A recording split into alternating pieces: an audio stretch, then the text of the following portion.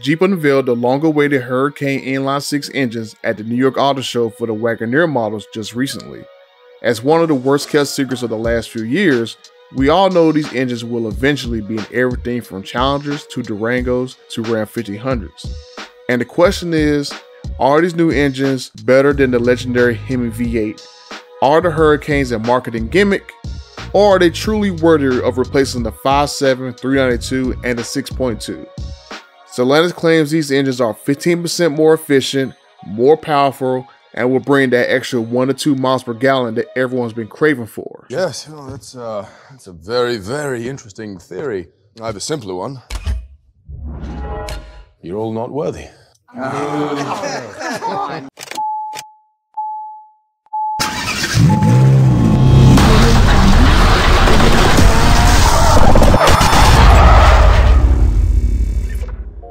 The long awaited Hurricane or GME-T6 or whatever you want to call these engines will come in two versions for now. A standard output version with 420 horsepower and 468 foot-pounds of torque for the Wagoneer at 22 psi, and a high output with 510 horsepower and 500 foot-pounds of torque for the Grand Wagoneer at 26 psi. When I talk about these engines in this video, I'm only going to reference the numbers that we see for the Wagoneer. We'll have to wait and see how Dodge will tune these engines when they find a way into the Challenger and the Charger. There is a third hybrid Hurricane version that'll come later, and I'll talk about that one as well. But before I get started with the slight improvements, I gotta ask this question. Why is the Hurricane 510 a 2K option over the 392? If I look at the F-150 Platinum, the 3.5 liter EcoBoost is only a $750 upgrade for the same horsepower but 90 more foot-pounds of torque. Keep in mind, the EcoBoost also has two turbochargers, two cylinder heads, two head gaskets. Essentially, it is a V8 with two cylinders chopped off. The Hurricane 510 delivers 40 more horsepower and only 50 more foot-pounds of torque over the 302 for 2K. But why?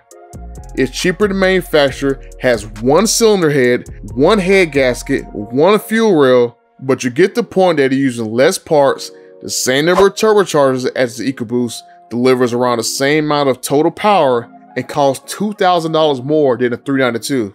In Stellantis' own words on their press release, all Hurricanes share the same design, bore, stroke, and cylinder spacing.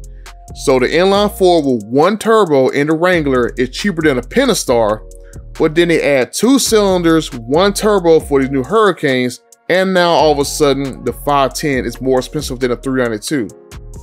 Why is the engine designed to be built cheaper, more expensive?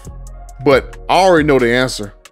What has been decided is to um, impose on the automotive industry electrification that brings 50% additional cost against a conventional vehicle. So we have to digest 50% of additional cost.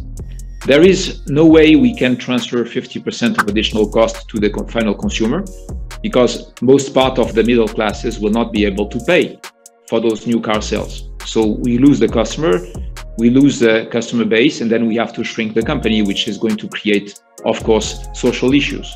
Just saying. The standard Hurricane has 20 more horsepower and 60 foot-pounds of torque more than the 5.7 e-torque Hemi that's found in the regular Wagoneer. Looking over Stellantis press release, I find it interesting that this version actually has a recommendation of using premium fuel. While this engine will work on a lower grade fuel such as 87 or 89 octane, will it actually get the 15% better performance Stellantis is claiming? Ford recommends premium fuel for the twin turbo 3.5 liter EcoBoost, and then I found this article from Car and Driver where the dyno tested the engine to see the differences between 93 octane and 87. I wish it was 91 octane that they tested with, but you can clearly see across the board are dropping all the numbers. And how much do you want to bet that the Hurricane numbers that Jeep has posted is based off the recommended fuel? The high output Hurricane engine or Hurricane 510 as they're calling it, you don't have to worry about performance loss because Stellantis already requires the use of premium fuel for its to 1 to 2 mile per hour gain. So for the 5.7 versus standard Hurricane, I'm not going to say that it's better than the 5.7 because of the variable with the fuel. And I don't see a 15% improvement even if they are quoting their MPG numbers off 91 octane. The best improvement gained by the standard Hurricane versus the 5.7 e-torque is 9% by getting an extra 2 miles per gallon on the highway in the four-wheel drive version. Every other gain is right in the 5% range. So leaving the tuning possibility aside, I know some people are going to say the 5.7 versus standard Hurricane will be a toss-up of what you prefer. You have about the same performance, around the same fuel economy, and it just depends whether you want the Hemi sound or do you want your scat pack to sound like a Honda? Just saying. The high output version is the same way. We get new MPG numbers that are barely over 5% compared to the 392. Sure, the high output Hurricane outperforms the 6.4 with 40 more horsepower and 50 more foot-pounds of torque, but I can get one MPG by changing my driving habits and I can make up for the power difference with some bolt-ons and possibly a tune. I'll put on the screen the differences between the Hurricane engines. The standard Hurricane has a higher compression ratio, cast, not forged aluminum pistons, and don't get the same coating technology that how output version gets in order to minimize friction and wear. Also, another problem is the new Hurricanes are also direct injected. There is a lot of hype around direct injection, but there are some drawbacks to it.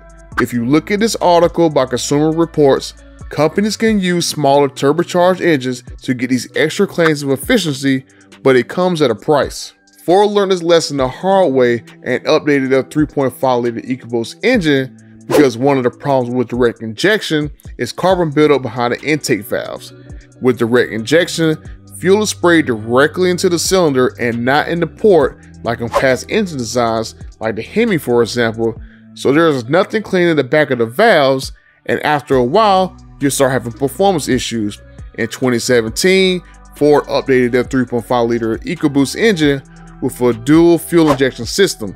In each cylinder, you'll have one injector spraying into the cylinder, then you have a second one that'll spray in the intake port to quote, work together to improve power output, efficiency, and emissions.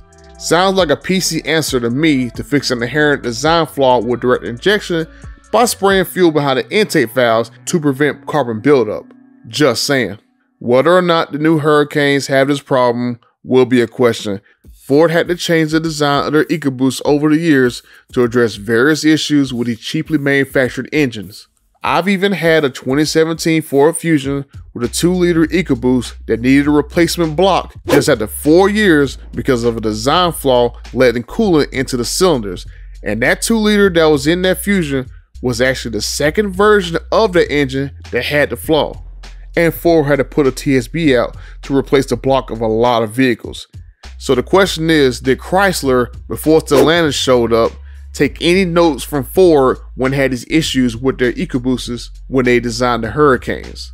I noticed on the press release that the standard Hurricane has a single fuel pump and the high output version has a dual fuel pump system. So maybe this secondary fuel system fixes the same issue that Ford found, or maybe it's just there to crank up the power like Ford did with a 660 horsepower Ford GT EcoBoost engine. I'm just going to say that the jury is still out with these Hurricanes. I don't see any major advantage going with them over the Hemi. I'll just say it comes down to the preference do you want the V8 sound or not.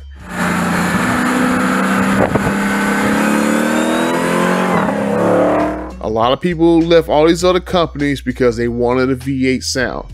You go to Hemi, you're still gonna get around the same amount of performance, still around the same amount of MPG, but you're gonna have a way better sounding vehicle.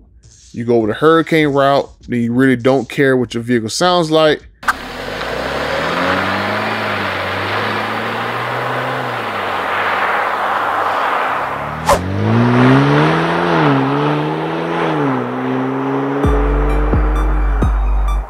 I would suggest with this direct injection engine, to go get you a catch can and you go check out my buddies that Just Bolt On to get you a catch can for whenever these engines come out.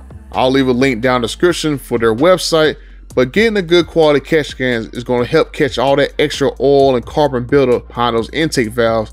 But just looking forward, all these years with the powerful EcoBoost and Ford's lineup, and V8s are still popular in the F-150s.